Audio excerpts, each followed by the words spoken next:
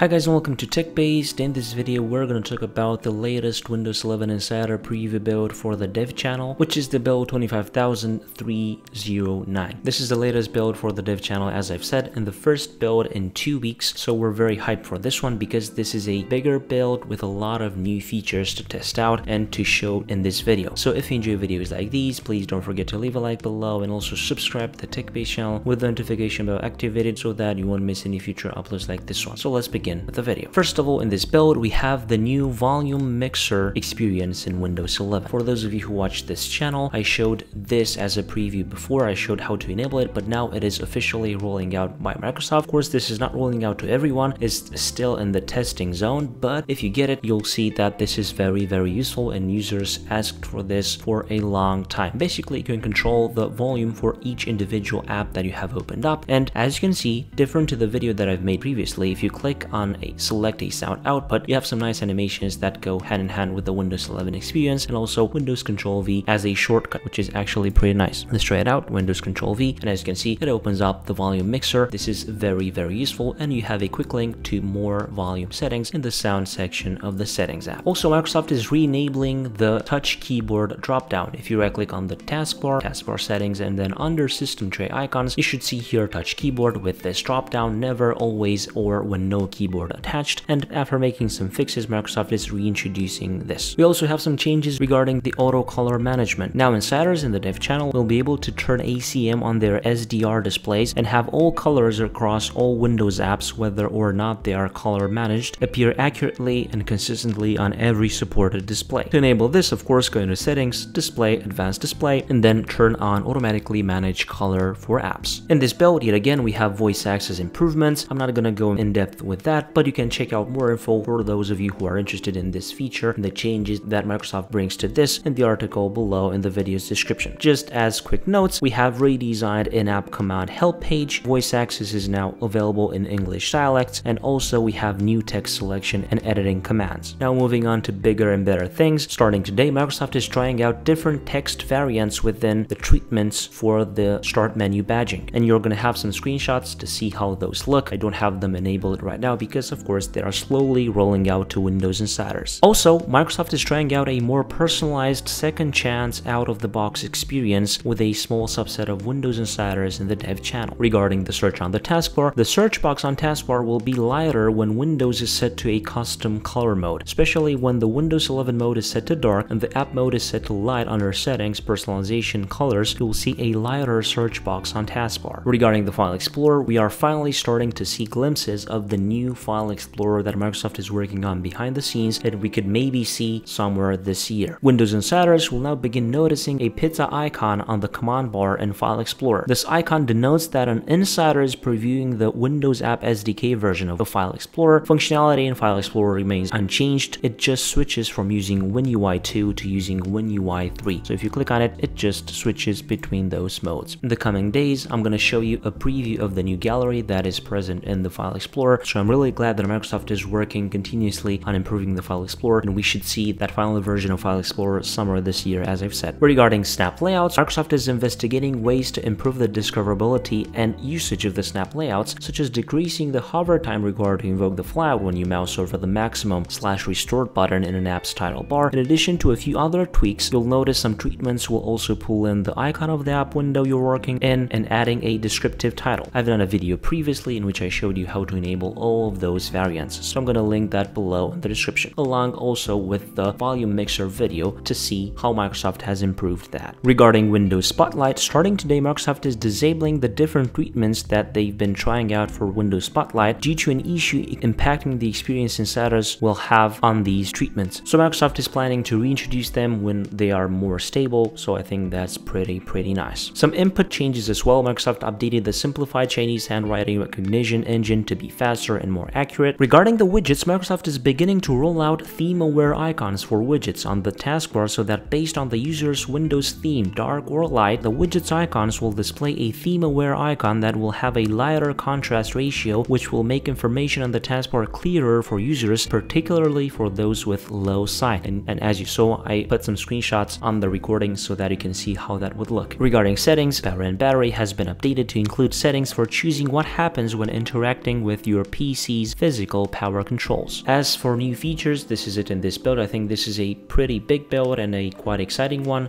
and hopefully we will find new hidden features in this build related to the File Explorer most likely, and I think this is a really good job done by Microsoft. Now let's talk about a few fixes, some general fixes. Microsoft fixed an issue causing USB devices including keyboard and mouse to not work for some insiders after upgrading to build 25295 Plus. They fixed an issue for some insiders where if you'd uninstall the previous flight, it would cause your start menu and taskbar to crash. They also fixed an issue where when using Windows Hello to sign in with facial recognition, it may not have worked on ARM64 PCs. They also fixed an issue with the Windows Insider Program settings page showing a newer build was available in Windows Update even though you were on the latest available build on the dev channel. I've had this error before, so I'm glad that they fixed it. Regarding the taskbar and system tray, they fixed multiple Explorer.exe crashes impacting taskbar and system tray. They also fixed a display issue that could result in the taskbar appearing duplicated when making resolution changes, and they also fixed an issue which was causing app icons on the taskbar to appear on the wrong monitor for some insiders with multiple monitors. Regarding widgets, they fixed an issue where under certain circumstances, third-party widgets were not loading as expected. Regarding search on the taskbar, they fixed rendering issues when using the touch keyboard with the search box on the taskbar. They fixed an issue when double-clicking the search highlight glyph in the search box makes it disappear. They also fixed an issue where the search box would randomly disappear. Fixed an issue where the search icon flips incorrectly for right to left languages. Fixed an issue where you might have seen some text flicker in the search box when you click onto it. Fixed an issue where the search box might disappear on one monitor if you're using multiple monitors. They also made some accessibility fixes to the settings for search under settings, personalization, and taskbar. Regarding the File Explorer, Microsoft fixed an issue which caused insiders with custom desktop icon arrangements and sizes to get set back to default in the previous build. They also fixed an underlying issue believed to be the cause of File Explorer unexpectedly jumping into the foreground sometimes. The Open in New Tab context menu option in middle clicking folders will now open the tab in the background rather than switching focus, and they also fixed an issue where the close button could get stuck in a highlighted state when you moved your mouse across it. We also have some input settings and you can see those listed in the article below related to some language layouts and also some IE context menus. Related to the settings app, they fixed an underlying issue believed to be the root cause of why some insiders saw their startup app settings get reset with the previous build. Now also going to privacy security and then phone calls should no longer crash in settings. Regarding windowing, they fixed a high-hitting DWM.exe crash in the last couple flights. And we also have some other fixes, but I'm only gonna mention one. They fixed an underlying issue which was leading to Microsoft Edge crashes for some insiders in the last few flights.